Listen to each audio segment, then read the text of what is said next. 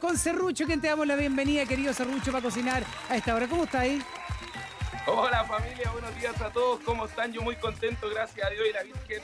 Los míos pude hablar con ellos esta, esta mañana, así que estamos todos en orden.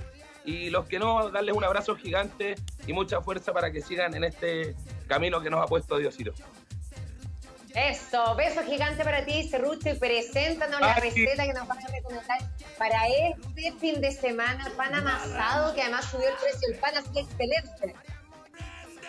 Sí, así es. Eh, vamos a ver la receta de pan amasado.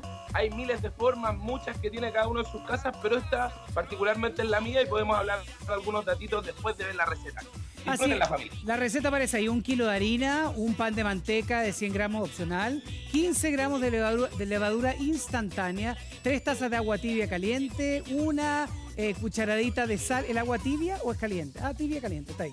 Una cucharadita de sal, una cucharadita de azúcar para la receta del pan amasado del querido Serrucho. Así es, se entiende tibia caliente, ¿no? Está bueno, no, es que a mí ya me dio hambre, pero vamos a hacer algo. Esto lo hacen a propósito, yo creo acá. Como me dio hambre, vamos a ver el pan. Vamos a ir a una pausa, usted sabe de esto, Serrucho, y a la vuelta vemos la, la preparación completa del pancito amasado que yo mismo voy a hacer en mi casa también hoy día. Esto es el Buenos Días, esto es TV. Nos vemos Truchito, cómo se hace el pan amasado, presenta tú mismo el tutorial que nos tienes. Pensé que habían ido a ver una teleserie. ¡No, hambre! Oye, bueno, no esperemos más. Vamos a ver esta rica receta de pan amasado y la comentamos una vez que ya la hayan visto. Disfrútenla. Para todas las serrucholovers.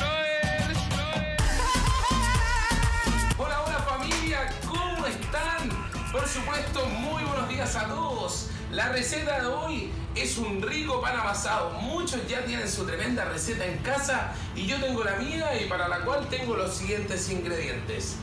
Harina, manteca, aproveché de echarle en este caso una taza de agua ahí para que se pueda derretir, levadura 15 gramos, sal una cucharada aproximadamente y un poco más de harina para poder trabajar nuestra masa.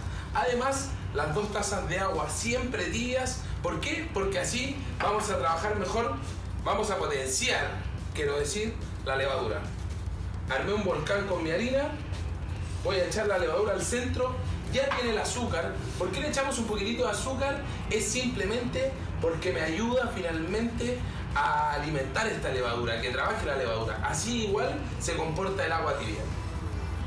Ya tengo mi manteca derretida el agua caliente y vamos a comenzar a agregarle en el centro del agua. Van a ver que poco a poco comenzamos a armar nuestra masa.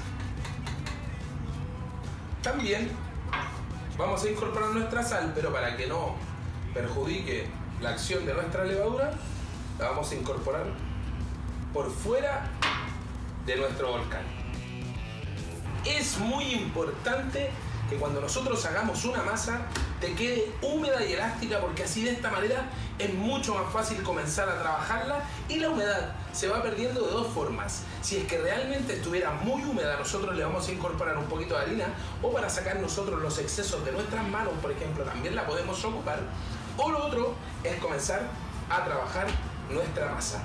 En la medida que comenzamos a trabajarla, nosotros también debemos golpearla para que de esta manera se comience a activar el gluten, que es esto que nos va a permitir la elasticidad de nuestro pan. Para comenzar a hacer nuestros ovillos.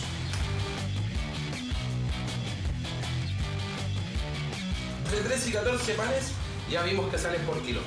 Viene el momento de ovillar. Voy a pescar dos de estos trozos y vamos así para hacer nuestros ovillos. Quedan cerraditos en el fondo. Ya saben, miren, pueden mirar cómo quedan ahí y ya están listos para poder ser estirados. Vamos a ovillar nuevamente.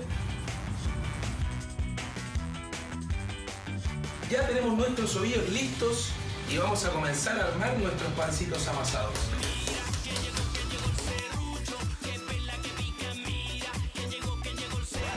Aquí viene una parte muy importante. Vamos a hacerle los hoyitos correspondientes con un tenedor y vamos a cubrir nuestros panes aproximadamente durante 10 a 15 minutos con un paño de cocina. En este caso yo tenía una bolsita transparente plástica. ¿Para qué? Dos cosas. La primera es para que nuestros panes, como llevan levadura, puedan subir. Y la segunda, ¿por qué los cubrimos? Para que no se les forme una corteza dura y la masa siga siendo tierna y fresca y así no se forme como una especie de costra sobre el pan. Ya pasaron 10 minutos aproximadamente y nuestro pan comienza a crecer.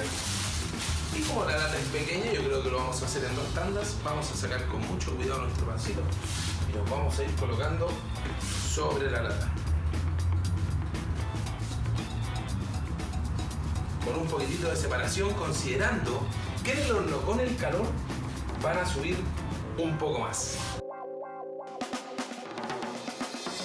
Ya estamos listos para ir al horno, 170 grados aproximadamente, si es que su horno tiene termómetro. Si no, eh, va a calentar el horno, va a tratar de meter la mano y cuando ya sienta la resistencia va a saber que aproximadamente está entre 170 y 180 grados. Entre 15 a 25 minutos, dependiendo la manera en que el horno calienta. Antes de que suene, yo me voy a apresurar y abrir el horno y sacaré nuestros pancitos. Miren, ya tenemos listos nuestros panes amasados, ahí recién solo el horno, ustedes lo pudieron escuchar. Y miren, subieron por supuesto su volumen con el calor como les contaba que era súper importante. Y lo que manda finalmente el tiempo no es muchas veces el horno porque puede que tenga algún defecto, sino que simplemente el dorado de nuestros pancitos. Sacamos los excesos de harina. Y ya estamos listos para tomar una rica oncecita. Familia, que estén muy bien, que disfruten este rico pan amasado junto a su familia porque está lleno de amor y sabor. Y qué mejor que tomar una oncecita con un pan amasado. Para todas las serrucholoes. Bien. Qué hambre que nos dio comer el pancito amasado. Me quedó así como de restaurante, hombre, por Dios. Qué bueno, doctor. Oye, doctor, déjame preguntarle al doctor Ugarte Cerrucho, ¿qué le recuerda el pan amasado? No tiene como lugares. A mí me recuerda el sur, me recuerda a Temuco, ese pan calentito, amasadito, qué cosa más rica. Qué esa. hambre, Mari. Doctor, lo primero que le Tenemos preguntas para Cerrucho. A ver, pregunte. Por ejemplo, ¿cómo hacemos para que no quede crudo el medio el pan amasado? Eh, Mari, simplemente es cocción, insisto, de repente los hornos no calientan de la misma manera, entonces algunos te van quedando bien cocidos, otros no, y hay que ir acomodando los panes y principalmente yo creo que el tiempo de cocción de un pan, si es que estuviese a 170 grados parejo el horno, es de 25 minutos. El dorado nos va a mandar y después nosotros vamos a ver también que en el centro está bien cocido. Ahora, ojo, de repente vemos que pareciera que no nos queda bien cocido, pero es el exceso de manteca, como lo que pasa en las dobladitas. Ricas las dobladitas, me gustan. Eh, Cerrucho, si yo no tengo levadura, ¿puedo ocupar alguna otra cosa? Idealmente siempre debemos ocupar levadura, el polvo de hornear muchas veces nos ayuda a que las cosas suban, pero no logra hacer lo que produce la levadura. Entonces idealmente hacerlo, si no, ya serían churrascas. Haríamos estos pancitos que hacemos... Son ricos también. Esos no necesitas de horno, sino simplemente necesitas de una sartén caliente para poder tú hacerlo en casa. Es mucho más fácil y no requiere de levadura, sino agua, sal y harina. Qué hambre. Saludo a mi chiquilla que hacen churrasca en Conte y al lado de la línea del tren, al lado del río Maule, ahí yo paso a comprar y me gusta. Otra pregunta que tengo del no cocinero. El caso, si puedo ocupar mantequilla o solamente puedo ocupar manteca. No, la materia grasa se puede reemplazar. Podríamos en estricto rigor ocupar o mantequilla o podríamos ocupar margarina o también ocupar aceite. Ahí no hay ningún problema. ¿Ya? Y un datito también importante para que los panes no se nos quemen abajo al momento de hornearlos, vamos a colocar una capa de harina. Entonces la harina es la que se va a quemar y el pan me va a quedar libre y yo solamente me tengo que preocupar cuando lo saque del horno, retirarle el exceso golpeándole un poquito el poto. Qué rico. ¿Y esta masa, Ferrucha, hay que dejarla reposando o no? Correcto, eso es muy importante. Esto es a la antigua y al pan sí efectivamente hay que darle un tiempo. Muchos me comentaban por redes sociales que les queda duro Sí. y depende única y exclusivamente de Ah. eso. El tiempo que yo le doy al ovillado una vez que ovillo y dejo mis panes listos previo horneo, ya comienzan a tomar calor desde la temperatura ambiente y comienza a desarrollar la levadura. Comienza a subir, comienza a aportar esponjosidad y aire. Y después, ya en el horno, eh, exactamente lo mismo. El tiempo de horneo correcto y ya después estarían listos. Si quieren mantener un poco mejor el pan, lo pueden mantener en una bolsa igual, cerrado. Si no, al otro día, si es que está muy duro, Sí. agréguenle un poquitito de agua y lo calientan. Y ahí de nue- y lo calentáis al horno de nuevo. Sí, correcto, porque lo que pierde en definitiva el pan y por eso se comienza a poner duro es su humedad. po. Claro, y el Entonces, azúcar, por eso ¿por qué le echáis pareciera- azúcar? ¿Perdón? ¿Por qué le azúcar?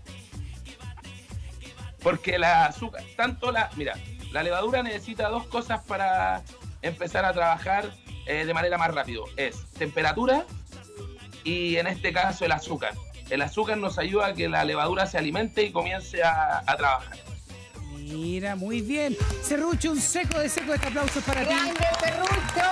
Nos vamos a a comer Muchas un gracias. amasado con la familia. Qué bueno para el fin de semana. Hoy día hacemos sin duda Así al doc- Saludos, Serrucho, Solo querido. Abrazos Bendiciones. desde su casa y tele. Esta es la telecocina.